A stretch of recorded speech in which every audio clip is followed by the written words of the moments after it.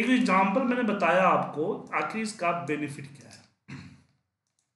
तो दूसरे शिफ्ट में आ गए हम हम बात कर रहे हैं कि हमने जो शॉर्टिंग का जो ये फंडा बताया, आखिर इसका बेनिफिट क्या होता है।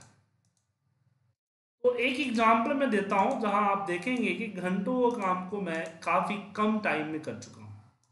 देखिए, चलिए। मेरे पास एक डेटा टेबल मान लीजिए आता है, मैं यहाँ पे पर्सन के नेम दे देता हूँ। मान लीजिए कि हमारे पास प्रोडक्ट के सेल मैं नेम यहाँ पे नीचे ड्रैग कर देता हूँ। और ये प्रोडक्ट सेल है। और मेरे प्रोडक्ट सेल जो है काफ़ी ज़्यादा है, तीस, पैंतीस, चालीस, सौ, दो सौ, डेढ़ सौ, ऐसे जो कि कॉलम वाइज है। मैं यहाँ पे डेटा डाल अब मुझे जो डेटा मिला है, इस तरह का डेटा मिला है जो कि मैंने आपके सामने कुछ सेकेंड्स में तैयार कर दिया है। मुझे इस डेटा पे करना क्या है? मुझे करना यह है कि हर एक डेटा के बाद एक ब्लैंक लाइन ऐड करनी है। यहाँ पे इसको परसेंटेज का सैंबल देना है। क्योंकि ये क्या है? सेल्स है। मुझे इसका टारगेट अजीब निकालना है। तो मुझे हर नंबर को सेवेंटी से डिवाइड करना है। इसको नीचे की तरफ़ ड्रैग करना है और इस पर परसेंटेज का सैंबल लगाना मतलब कि 27 सेलेक्ट हुआ तो इसे 39 परसेंट अचीव किया, बयालीस सेल हुआ मतलब कि अपने टारगेट का 60 परसेंट अचीव किया इसने। ओके अब प्रॉब्लम है कि मुझे एक काम हर कॉलम के लिए करना पड़ेगा, हर कॉलम के लिए। तो सुधीर जी क्या लगता है, कितना टाइम लगेगा इसमें?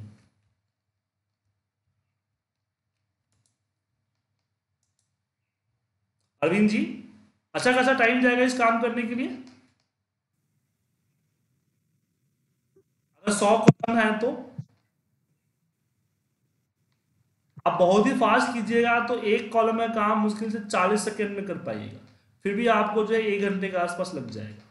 अब इसी काम को देखिए, मैं बहुत ही कम टाइम में कर रहा हूँ। मैंने क्या किया, इसके ऊपर एक ब्लैंक रो इंसर्ट किया। सबसे पहला है कि हर कॉलम के बाद एक ब्लैंक कॉलम को ऐड करना। तो जो मेथड मैंने बताया था अभी रो ऐड करने का, उसी मेथड को हम कॉलम पे अप्लाई करते कॉपी किया एंड पेस्ट कर दिया। क्योंकि हम सॉर्टिंग कॉलम वाइज भी तो कर सकते हैं। सेलेक्ट कर लिया। देखिए हाँ इसके नीचे मुझे हेडिंग भी चाहिए। तो इसके नीचे हमने हेडिंग डाल दिया परसेंटेज का।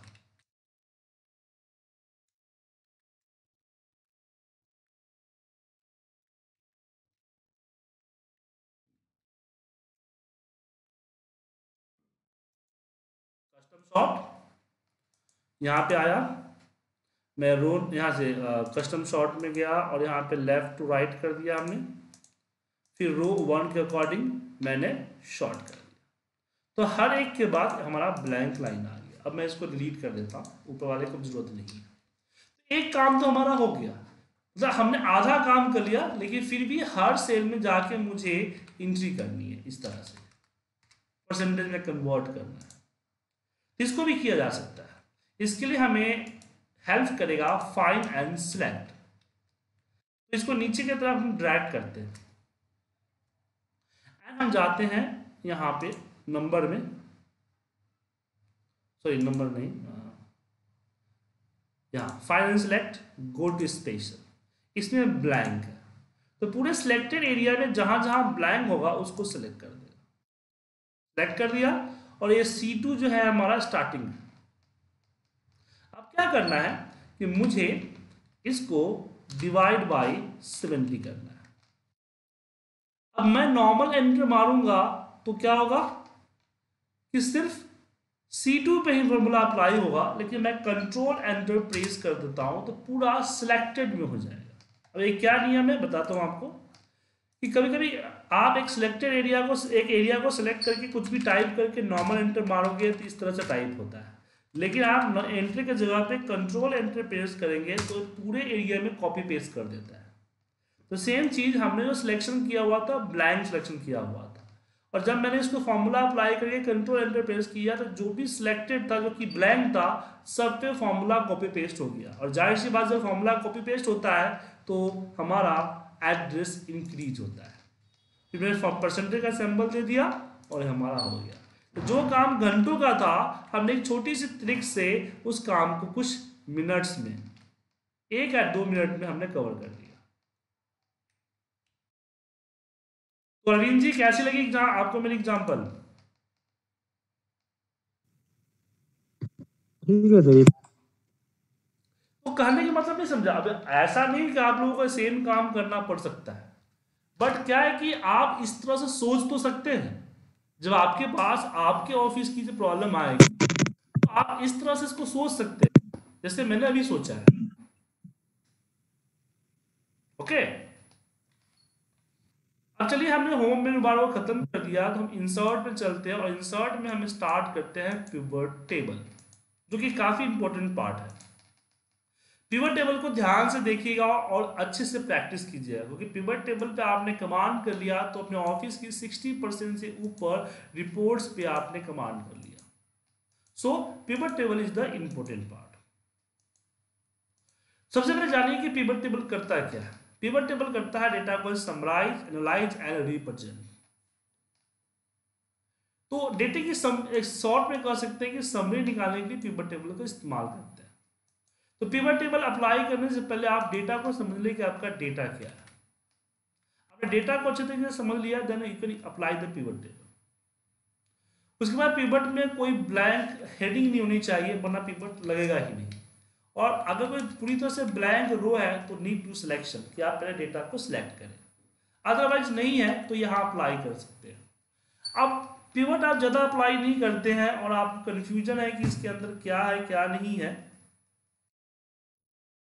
तो आप एक फीचर है रिकमेंडेड पिवट टेबल जो 2013 से आया है, उससे पहले वाले वर्जन में नहीं है। रिकमेंडेड पिवट टेबल का इस्तेमाल कर सकते हैं। ये क्या करेगा कि आपके पिवट को देखेगा और इसमें से प्रिडिक्ट करेगा कि कितने तरह के पिवट इस पर लगाए जा सकते हैं। जितने पिवट लगाए जा सकते हैं, यहाँ पे इसका आपको दे देगा, आप सेलेक्ट कीजिए और अप्लाई कीजिए। नहीं तो आप वापस आइए यहाँ पे पिवट टेबल एंड ओके एक नई सीट में आपको दे देगा। यहाँ आप देख पा रहे हैं कि आपके हेडिंग से मैंने आपको बोला था कि आपका डेटा में हेडिंग ब्लैंक नहीं होना चाहिए, इसीलिए बोला था। अब आपको इसको उठा के इन चारों में से किसी एक में रखना और यहाँ पे रिपोर्ट आपका तैयार होते जाएगा।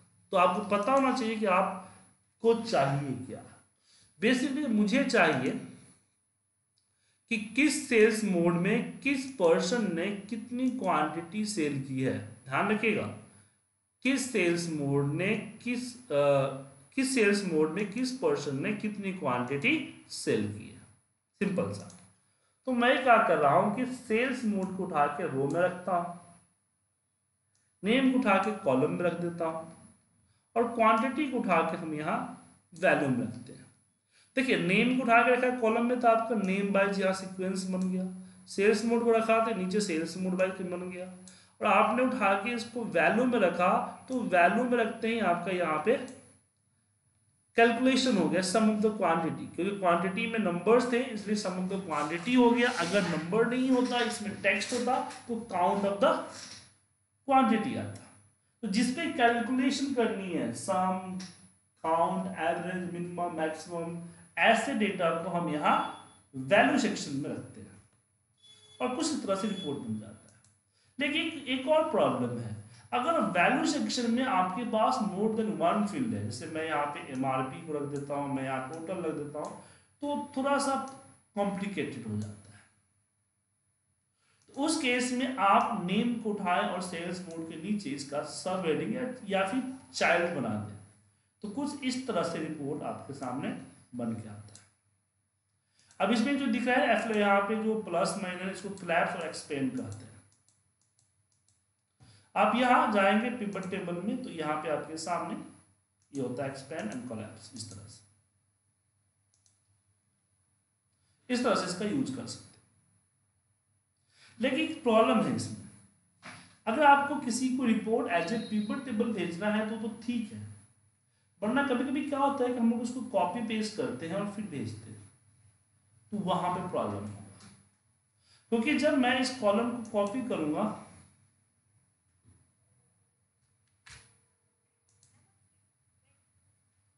जो कॉपी करके मैं यहाँ पे पेस्ट जो वैल्यू है पेस्ट करूँगा तो पता नहीं चलेगा कि एफिलेटेड कौन मतलब कि सेल्स मोड क्या है और आपका पर्सन के नेम कौन से एक ही कॉलम में आ जाएगा ना पूरा।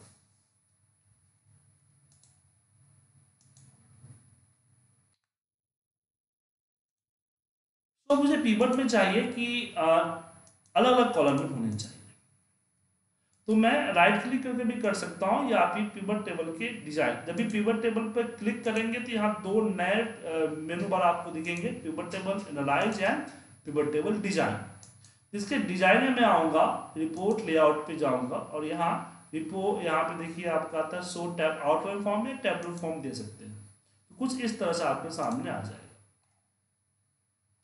अब इसमें नीचे देखिए, यहाँ पे सब टोटल आपका सबका दिख रहा है। चाहिए तो रखिए, अगर नहीं चाहिए तो राइट क्लिक करके आप यहाँ से इसको रिमूव कर सकते हैं। इस पर क्लिक कीजिए अनटिक हो जाएगा मतलब कि रिमूव हो जाएगा। वापस लाना है, इस पर क्लिक कीजिए, ये वापस आ जाएगा। अब बट अभी भी एक छोटी सी प्रॉब्लम है कि अभी मैं ये बहुत बड़ा डेटा है मेरा। अगर मान लीजिए इस डेटा को मैं कॉपी करके और किसी अलग सेल पे रखता हूँ और फिर इस पर फ़िल्टर अप्लाई करता हूँ। मैंने फ़िल्टर में डायरेक्ट वो किया। यहाँ पे डायरेक्ट सिर्फ़ एक दिखेगा। क्योंकि पिवट को पता है कि डायरेक्ट के नीचे कई सारे, बहुत सारे पर्सन हैं। पर नॉर्मल डेटा तो देखा कि डायरेक्ट के आगे पूजा है, पूजा। तो मुझे यहाँ पे रिक्वायर है कि मैं हर एक के नीचे इस तरह से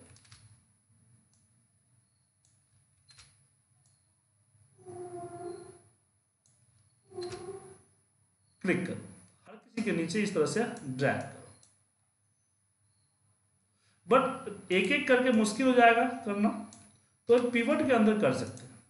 सेम यहाँ डिज़ाइन में जहाँ आपने लेआउट सेलेक्ट किया था, उसी के नीचे आप देखेंगे रिपोर्ट ऑल आइटम लेबल यहाँ दिख रहा होगा।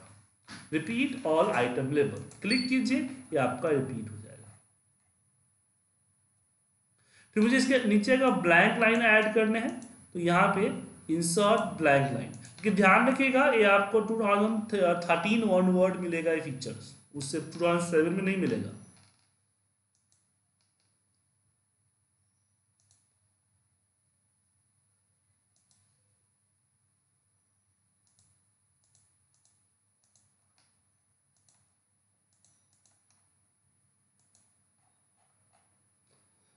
अब मुझे वापस सही करना है नॉर्मल करना मुझे रिपीट नहीं चाहिए तो यहाँ से आप रिमूव ब्लैंक लाइन कर सकते हैं। और यही पे डू नॉट रिपीट कर मुझे अब इसको मर्ज करना है तो नॉर्मली सेलेक्ट करके आप मर्ज नहीं कर सकते। मर्ज नहीं कर सकते। मर्ज करने के लिए आपको यहाँ पे आना पड़ेगा पिवट टेबल ऑप्शंस और यहाँ पे merge and centre cells with level इसको क्लिक कीजिए एंड ओके कीजिए, ये आपका मर्ज हो जाएगा। इस तरह से।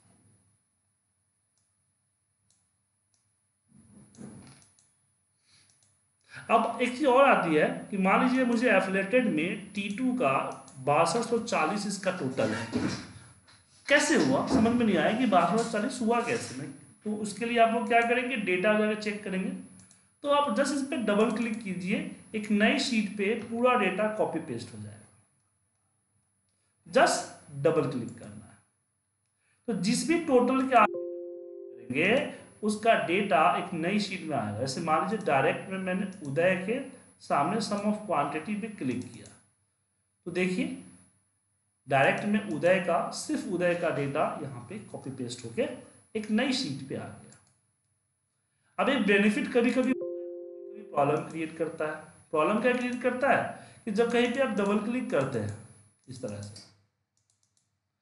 कुछ लोगों को डबल क्लिक करने की आदत होती है तो उनको प्रॉब्लम हो जाएगी।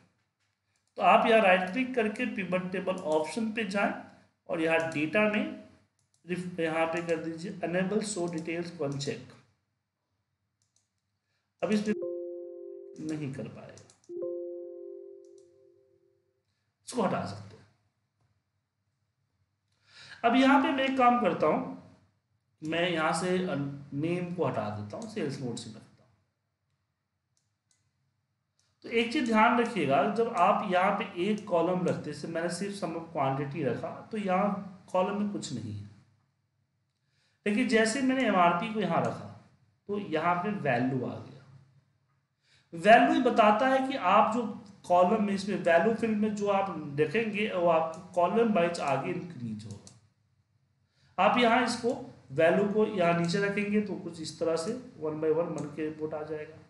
या उठा के इस पर रखेंगे तो इस तरह से आएगा कॉलम वाइज अब बाय डिफ़ॉल्ट सम है, आप इसमें इसकी कैलकुलेशन चेंज कर सकते हो। ये सम ऑफ़ एमआरपी के बगल में जो रेक्टेंगल होता है, उस पर क्लिक कीजिए वैल्यू फ़ील्ड सेटिंग पे आइए। और यहाँ पे आप एवरेज या जो भी कैलकुलेशन चाहिए, उस कैलकुलेशन को सिलेक्ट कर लीजिए। यहाँ पे आपको कुछ सिलेक्ट हो जाएगा। अब यहाँ इसकी डेसिमल पॉइंट बढ़ गई है तो यहाँ से आप घटा सकते हो, बढ़ा सकते हो। इस तरीके ओके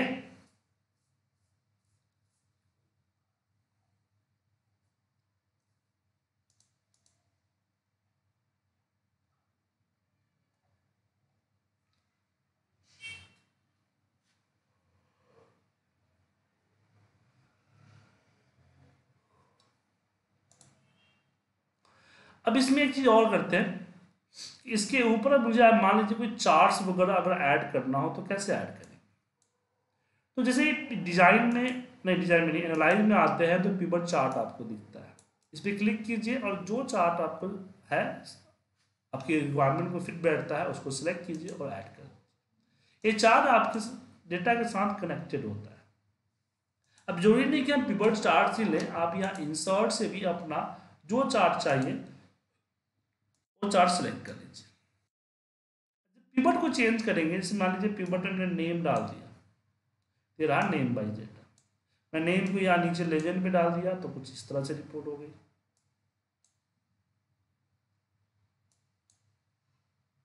तो इस तरह से आप अपने, अपना जो है चार्ट और पिवट चार्ट को और जब चार्ट ऐड होगा तो एक नया यहाँ देखिए फॉर्मेट है डिज़ाइन है। डिज़ाइन पे जाएँगे तो चार्ट के यहाँ पे अलग अलग डिज़ाइन है, जो चार्ट के एक्टिविटी है। ध्यान रखिएगा चार्ट को सिलेक्ट कीजिएगा तो डिज़ाइन चार्ट के अकॉर्डिंग आएगा। अगर आपने पिवट को सिलेक्ट किया तो डिज़ाइन पिवट के अकॉर्डिंग आएगा। तो उस हिसाब से अपने आप को कर लीजिएगा। अब पिवट में हमने जब चार्ट लगा लिया तो अब बात करते हैं हम शॉर्टिंग ग्रुपिंग फिल्टरिंग के बारे में। सबसे पहले हम बात करते हैं शॉर्टिंग के में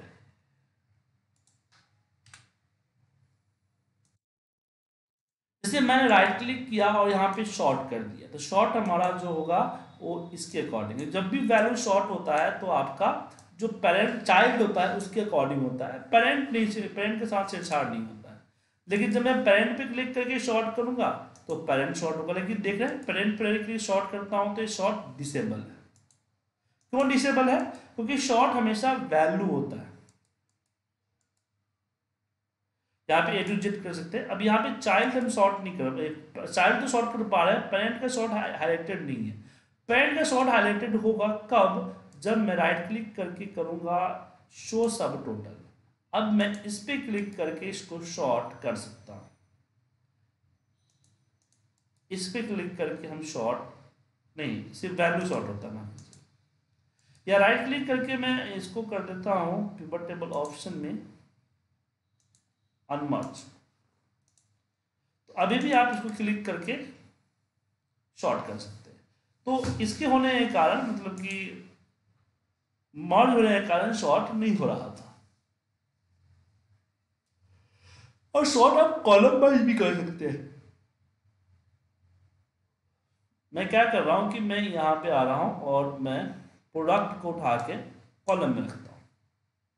तो मैं कॉलम के अकॉर्डिंग भी शॉर्ट कर सकता हूँ यहाँ पे।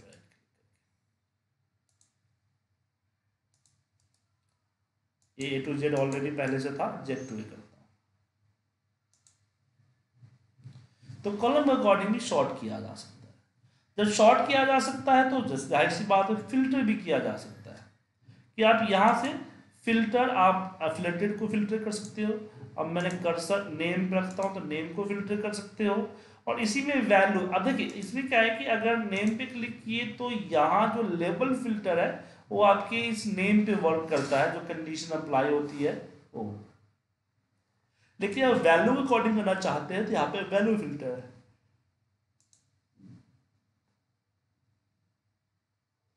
जैसे मैंने यहाँ पे टॉप थ्री कर दिया। एंड ओके मेरा टॉप थ्री फ़िल्टर है।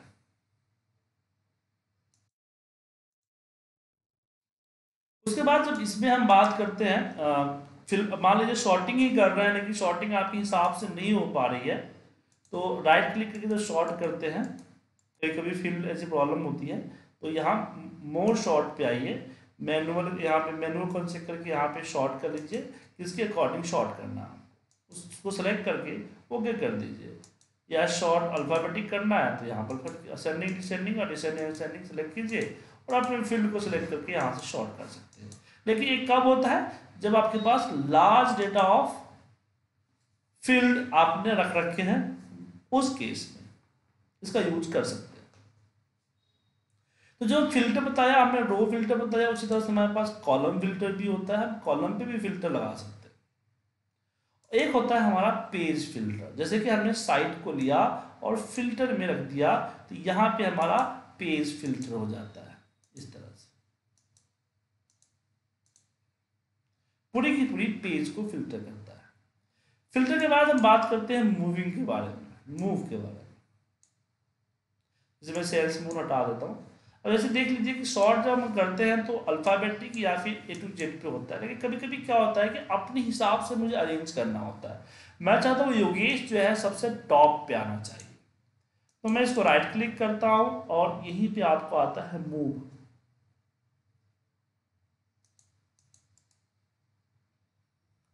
मूव हमेशा इस पे होता है, आपके फ़ील्ड पे होता है ना कि कैलकुलेटेड डेटा पे होता है। अब मैं मूव योगेश टू बिगिनिंग कर दिया तो सबसे ऊपर चला गया। तो जहाँ इसको भेजना चाहे, वहाँ आप इसको भेज सकते हैं कॉलम वाइज भी और रो वाइज यहाँ मूव से। लेकिन मूव से ज़्यादा इंपॉर्टेंट है हमारा फ़िल्टर सॉरी ग्रुपिंग माफ़ कीजिए। ग्रुपिंग क्या होता है? जान लीजिए इस बारे में बात जैसे कि मैंने यहाँ पे छोटा सा रख रखा है डेटा, इसमें योगेश है, मोहन है, टीना है। ये तीनों जो है इन हाउस है मुझे इन तीनों को सिलेक्ट करके एक जगह पे इन हाउस दिखाना है। तो टीना, मोहन एंड योगेश को मैंने कंट्रोल से सिलेक्ट करके कंट्रोल प्रेस करके तीनों को मल्टीपल सिलेक्ट कर लिया। मैं इसके ऊपर अब राइट क्लिक करता हूँ और करता हूँ ग्रुप यहाँ हमारा ग्रुप आ गया। यहाँ देखिएगा नेम और नेम टू यहाँ दो दिखेगा। तो नेम टू को मैं यहाँ से रहने देता हूँ नेम को यहाँ से रिमूव कर देता हूँ। अब इस ग्रुप वन को चेंज कर लीजिए, इसको चेंज की जा सकती है। मैं कर देता हूँ इन हाउस इस तरह से हम किसी भी टेक्स्ट को सिलेक्ट करके ग्रुप कर सकते हैं मल्टीपल एक या एक से ज़्यादा। जैसे मान लीजिए टी टू कविता वेंडर है। मैंने इसको राइट क्लिक करके सिलेक्ट किया ग्रुप कर दिया। अभी ग्रुप टू आ गया तो यहाँ पे मैं कर देता हूँ वेंडर इजली चेंज किया जा सकता है। लेकिन मुझे नंबर फ़िल्टर करना है। मान लीजिए कि मुझे ये पता करना है कि किस रेंज की किस रेंज की आ, कितने ऑर्डर आते किस रेंज ऑफ़ क्वांटिटी के हमें कितने ऑर्डर आ रहे हैं। तो इंसर्ट पिवट टेबल लगाता हूँ मैं एक नया। और मैं यहाँ पे अपनी क्वांटिटी को यहाँ रख देता हूँ। और आईडी को मैं रख देता हूँ वैल्यू में और सम ऑफ़ की जगह पे मैं काउंट कर देता हूँ। तो यहाँ दस क्वांटिटी की एक सौ सोलह ऑर्डर आया है। ग्यारह की इक्यावन ऑर्डर आया है। बारह क्वांटिटी की आया है। लेकिन इस तरह से दस ग्यारह, बारह थोड़ा सा टिपिकल हो जाएगा। तो मैं क्या करूँगा? राइट क्लिक ग्रुप यहाँ पे मिनिमम और मैक्सिमम ऑटोमेटिकली आ जाएगा। जी हाँ। मिनिमम और मैक्सिमम जो है, यहाँ पे आप देख पा रहे हैं कि ऑटोमेटिक आ रहा है। इसमें नीचे देखिए बाई लिखा हुआ है मतलब कि कितना ग्रुप होना चाहिए। था टेन है। इसको कम और ज़्यादा कर सकते हैं। सबको चेंज की जा सकती है। सबको चेंज की जा सकती है। ओके आपके सामने ग्रुप हो गया। उसी तरह से आप ग्रुप कर सकते हैं किसको भी।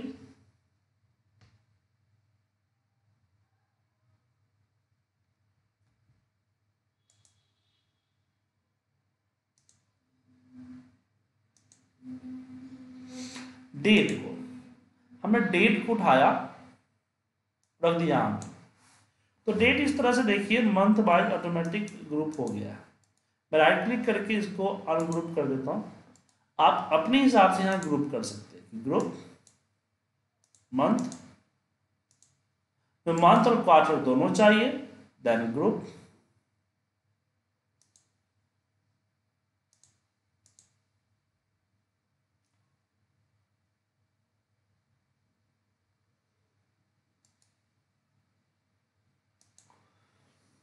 और यहाँ पे ईयर करता हूँ तो ये हमारा ईयर भी होता है। एक से ज़्यादा सेलेक्ट कर सकते हो। मैं मान लीजिए डेज़ वाइज करना, लेकिन मुझे पंद्रह दिन का गैप चाहिए तो फिफ्टीन दिन सेलेक्ट कर लिया। तो ये देखिए, यहाँ पे फिफ्टीन का ग्रुप आ गया। इसके सामने जो भी वैल्यू रखेंगे, वो आपका सम हो जाएगा। इस तरह से। तो डेट को ग्रुप किया जा सकता है। ग्रुप समझ में आ गया आप लोगों को?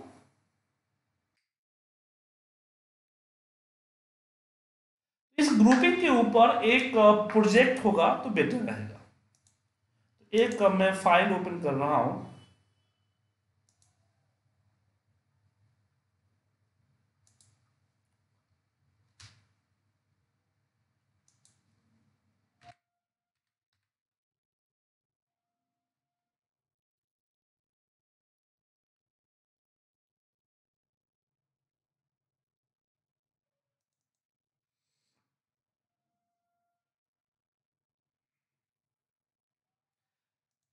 मेरे पास एक डेटा है। मतलब जो थम स्पेशन करते हैं या फिर जो अपना कार्ड स्वेप करते हैं, उनका हमारे पास एक डेटा है।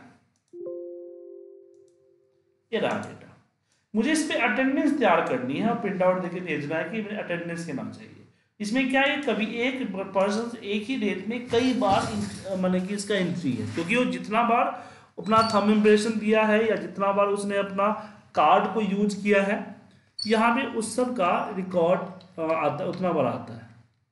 तो बस मुझे चेक करना है कि किस पर्सन ने किस दिन में कार्ड स्वेप किया है मतलब कि वो प्रेजेंट था, जिस दिन वो नहीं किया है, वो ऑप्शन था।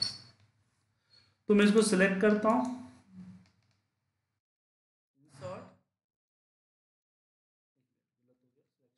करना चाहिए था हाँ। मैं पर्सन ऑफ़ द नेम देता हूँ।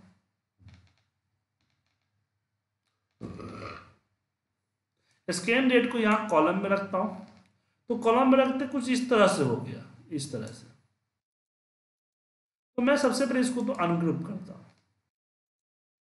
फिर वापस इसको मैं डे वाइज ग्रुप करता हूँ। ताकि एक डेट एक ही बार ही है डेज़ वाइज ग्रुप करने से क्या हुआ कि इसमें एक डेट देखिए, सत्रह तारीख दिख रहा है ना, सत्रह सत्रह सत्रह, तीन चार बार है। एक डेट यहाँ एक बार आएगा। डेज़ वाइज ग्रुप कर देने। और फिर वापस हम नेम को यहाँ पर रखता हूँ काउंट कर लेता हूँ। अब जिस दिन का नंबर आया हुआ है, उस दिन काउंट है। जिस दिन का नंबर नहीं है, उस दिन काउंट वहाँ पे ब्लैंक है। मुझे यहाँ पे ब्लैंक नहीं, यहाँ पे ज़ीरो चाहिए। राइट क्लिक किया। मैंने किया पिवट टेबल ऑप्शंस और मैं यहाँ पे देखिए फोर एम सेल्स सो हमने यहाँ पे कर दिया ज़ीरो बट मुझे इसमें जो टोटल में फ़िल्टर है, वो मैं हटाना चाहता हूँ तो पिवट टेबल में गया टोटल में फिल्टर्स को मैं यहाँ से रिमूव कर दिया।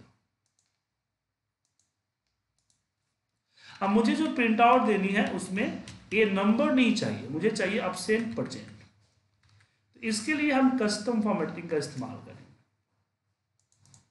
Right click format cell custom यहाँ पे आप देते हैं ए तो जो पॉजिटिव नंबर होता है, उसके सामने पी आ जाएगा। फिर मैं यहाँ पे सेमी कॉलन देता हूँ और नेगेटिव नंबर के लिए ब्लैंक छोड़ देता हूँ और ज़ीरो के लिए ए कर देता हूँ। बेसिकली क्या है कंडीशन फॉर्मेटिंग में चार, इसके अंदर चार स्टेप होते हैं। मतलब साइंटेक्स होते हैं, जैसे फॉर्मूले में होते हैं। पहला होता है पॉजिटिव नंबर दूसरा होता है निगेटिव नंबर तीसरा होता है ज़ीरो और चौथा होता है टैक्स और सबका सेपरेटर जो होता है सेमी होता है। तो मैंने पी दिया मतलब कि जितने भी पॉजिटिव नंबर है, उस पर पी शो करेगा। क्योंकि इसके आगे मैंने डॉलर हैश या ज़ीरो का साइन नहीं दिया है तो सिर्फ़ टेक्स्ट ही शो होगा नंबर अनविजिबल हो जाएँगे। नेगेटिव नंबर इसमें नहीं है, इसलिए इसको ब्लैंक छोड़ दिया, और ज़ीरो के लिए हमने ए कर दिया। तो आप देखिए यहाँ पे हमारा डेटा शो हो गया। अब इसमें मैं चाहता हूँ जो रेड कलर हो जाए, जो अपसेंट है तो मैं रेड कलर भी कस्टम फॉर्मेटिंग से ही कर सकता हूँ। फॉर्मेट सेल जहाँ पे ए था ए के आगे जस्ट स्क्वायर ब्रैकेट में रेड लिख देना। इस तरह से हमने लिया अब इसमें अगला ऑप्शन आता है कि मेरे पास डेटा तो है, लेकिन उसमें इन एंड आउट है। कब इन हुआ है, कब आउट हुआ है।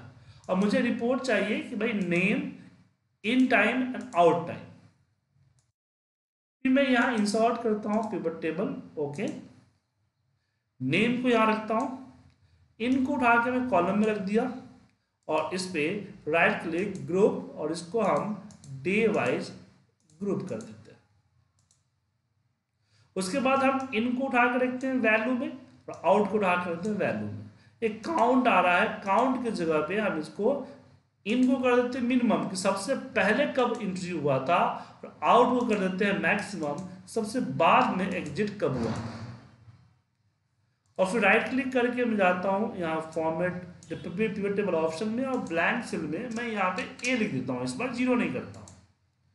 अब इस तरह का नंबर आया है, इसको सिलेक्ट कीजिए और सिलेक्ट करके इसको टाइम में कन्वर्ट कर दीजिए। टाइम का फॉर्मेट अप्लाई कर दीजिए। राइट क्लिक कीजिए पिवट टेबल ऑप्शन और टोटल फ़िल्टर में इसकी टोटलिंग जो है वो हटा दीजिए। उसके बाद यहाँ पे मैक्स इन है तो इसके जगह पे इन लिखिए स्पेस दे दीजिए।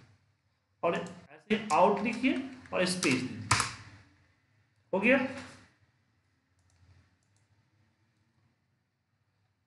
तो इस तरह की चीज़ें आप पिवट टेबल में कर सकते हैं। कोई डाउट आप लोगों को इसमें?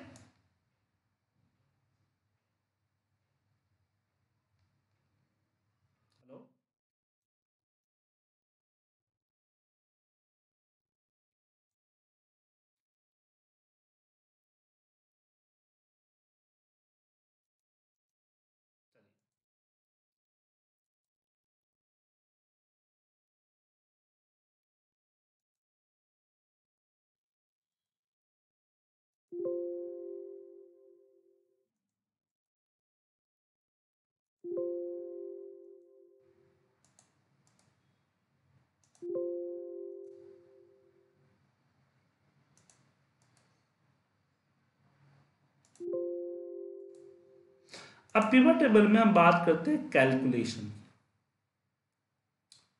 अब मैं क्या करता हूँ कि मैं एमआरपी रखता हूँ बट टैक्स और ये जो टोटल वगैरह है, उसको हटा देता हूँ। मैं इसको एक अलग सीट में लेके आता हूँ डेटा को।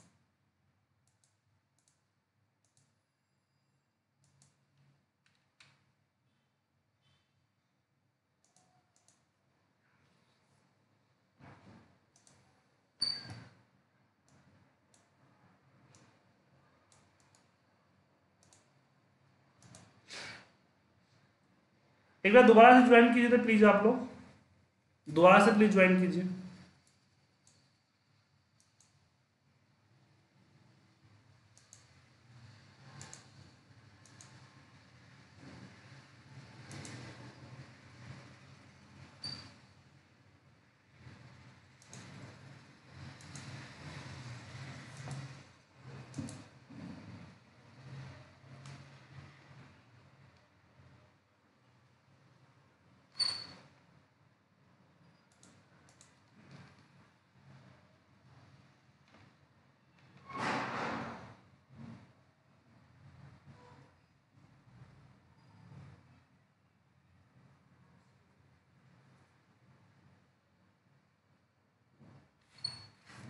अब इसमें जैसे कि डेटा है हमारे पास तो इस पर हम पिवट बनाते हैं।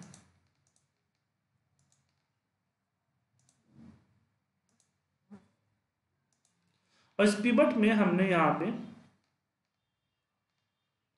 नेम को लेते हैं और यहाँ पे सिलेक्ट करते हैं। और हमने यहाँ पे क्वांटिटी ले लिया। एवरेज ऑफ़ एमआरपी है तो एमआरपी का भी एवरेज ले लेते हैं।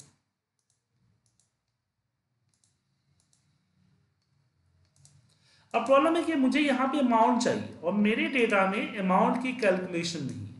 मतलब क्वांटिटी को मुझे एमआरपी के साथ मल्टीप्लाई करना है। और मैं ये चीज़ डेटा के अंदर नहीं करना चाहता डेटा क्योंकि डेटा कहीं से लिंक है, हमें कॉपी पेस्ट करना पड़ता है इस कारण से। तो यहाँ हम आते हैं। पिवट टेबल के एनालाइज में यहाँ आपको फिल्ड आइटम सेट दिख रहा होगा। इसी में आते हैं कैलकुलेटेड फ़ील्ड इस कैलकुलेटेड फ़ील्ड में आते हैं और यहाँ पे मैं लिख देता हूँ अमाउंट और फिर यहाँ पे हम दो फ़ील्ड को चूज़ करते हैं। जैसे कि हमने ले लिया कि क्वांटिटी इंसर्ट किया मल्टीप्लाई बाई एमआरपी और इसको ऐड कर दिया। ऐड ओके किया। तो आप देख रहे हैं कि यहाँ पे sum of the amount create हो। गया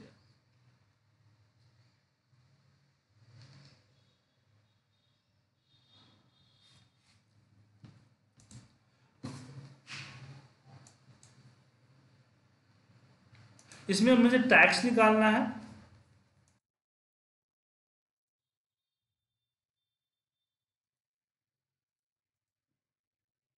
तो यहाँ पे कैलकुलेटेड फ़ील्ड में आते हैं। यहाँ पे जैसे जीएसटी अठारह परसेंट चाहिए हमें।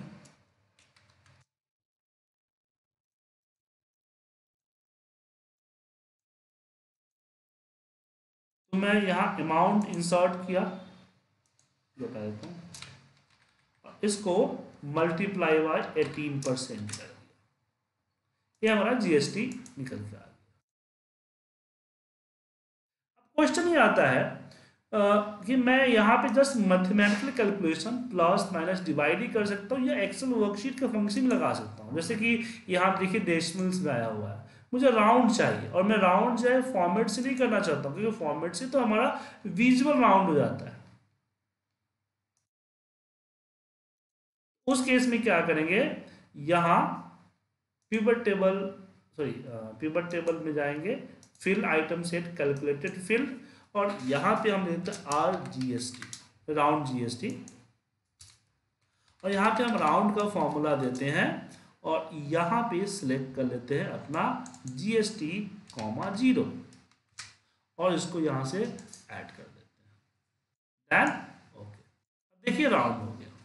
यही नहीं, इस पर जो है आप जो है कॉम्प्लिकेटेड जो फॉर्मूले होते हैं, वो भी लगा सकते हैं।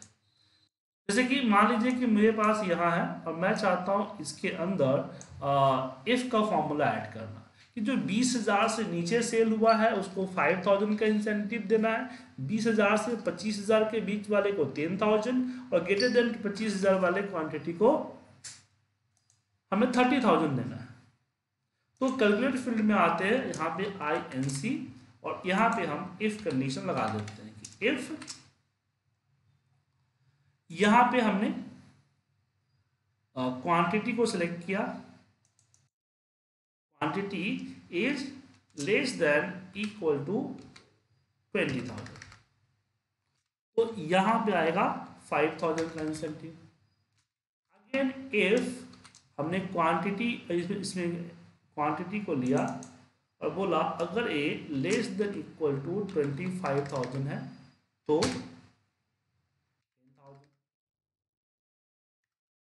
अदरवाइज़ ट्वेंटी थाउज़ेंड और दो इफ़ लगा है तो दो ब्रैकेट क्लोज करेंगे और इसको ऐड कर इस तरह से हम फिल टू फिल्ड के अंदर कैलकुलेशन करेंगे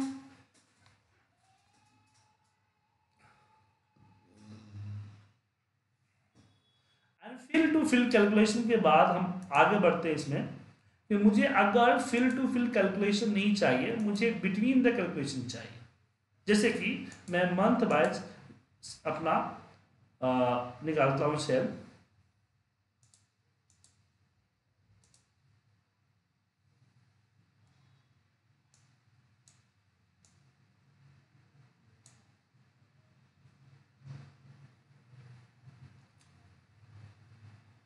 इस तरह से। अब मुझे यहाँ चाहिए कंट्रीब्यूशन कि किस महीने में साल का कितना परसेंट सेल हुआ है। मतलब कि मुझे हर नंबर को नीचे वाले नंबर टोटल से डिवाइड करना है।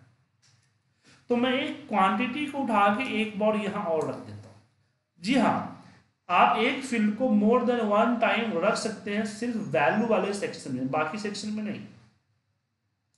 तो यहाँ पे वैल्यू फ़ील्ड सेटिंग में हम आते हैं। यहाँ पे शो वैल्यू एज पे जाते हैं। यहाँ पे जहाँ पे बाय डिफ़ॉल्ट होता है नो कैलकुलेशन अब इस नो कैलकुलेशन को सिलेक्ट करते हैं। और यहाँ पे हमारे पास जो ऑप्शन है, जैसे परसेंटेज ऑफ़ दिख रहा है। यहाँ पे परसेंटेज ऑफ़ हमने कर दिया ग्रांड टोटल जो टोटल है ग्रांड टोटल एक कंट्रीब्यूशन आ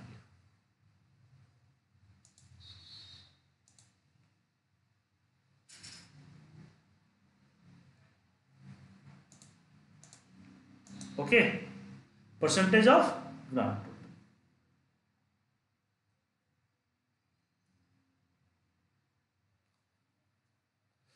सिर्फ़ ग्रांड टोटल से किया जा सकता है।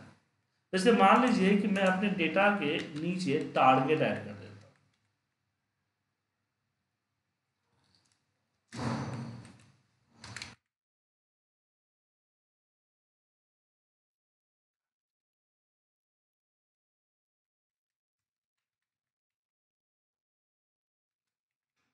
हमारा टारगेट जो है वो थर्टी थाउज़ेंड का है।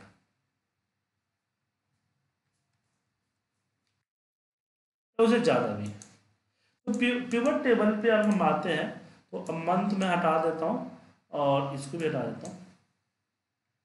अब मैं सेल्स मोड लेता हूँ। तो यहाँ पे मेरा टारगेट रिफ्लेक्ट नहीं कर रहा है। तो क्योंकि हमने डेटा में किसी भी तरह का चेंज करते हैं तो आपको यहाँ रिफ्रेश करते हैं तो इफ़ेक्ट हो जाता है। बट हमारे जो डेटा है, इस डेटा में हम नई डेटा ऐड की है। क्योंकि पीवट हमारा तो यही पे थ्री नाइन वन फोर तक ही लगा है ना। तो उस केस में हमें अपने डेटा को रिसाइज करना होगा। हम यहाँ आते हैं चेंज डेटा सोर्स और वापस हम डेटा को रिसाइज करते हैं। तो वापस रीसिलेक्ट करते हैं। अब टारगेट अब मुझे क्या करना है कि ग्रांड टोटल से नहीं टारगेट से सबको डिवाइड करना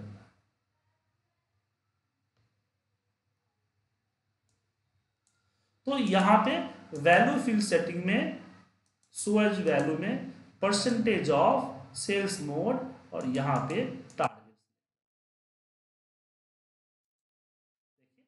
डिवाइड हो। इसी तरह से इसमें और भी चीज़ें हैं, जैसे कि आप देखें। Percentage of grand total row total percentage of parent total आपका difference difference percentage running total QT total कहा जाता है, वो निकाल सकते हैं। तो आप लोग ट्राई करके देखिएगा, कोई प्रॉब्लम होगी तो मुझे कॉल कीजिएगा, हम आपको एक्सप्लेन कर देंगे। अब पिवट का 2007 अभी जो पिवट हम डिस्कस कर रहे हैं 2007 का पिवट डिस्कस कर रहे हैं। अब अगला जो ऑप्शन आता है, वो आता है एक्सटर्नल पिवट टेबल तो पिवट को हम दो भाग में पढ़ेंगे तो सही रहेगा, क्योंकि एक बार में पढ़ने से आप लोगों को कंफ्यूजन हो सकती है। तो पार्ट टू अगर हम कल करें तो बेटर रहेगा।